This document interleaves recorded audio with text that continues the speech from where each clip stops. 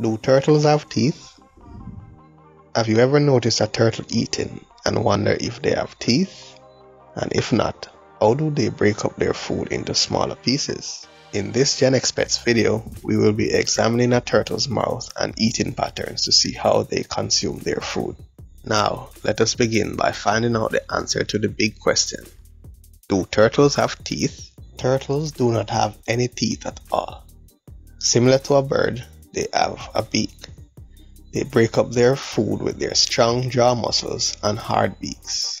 Carnivorous turtles crush the shells of their prey, such as clams and sea urchins, into smaller pieces to, to enable consumption.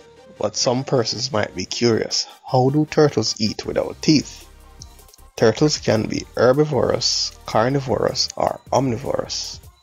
Carnivorous turtles, for example, have a strong bite as they use the keratin ridges of their mouth to chew and break up their food for digestion.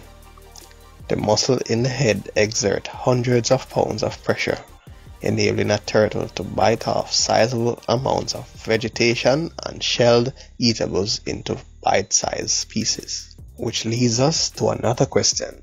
Do turtles bite? Many turtles will bite to protect themselves if necessary. This is true whether they are domesticated or wild. The bite from large turtles can cause serious damage. Finally, what is a turtle's jaw made of? Most species of turtle have sharp edges along both upper and lower jaws or beaks.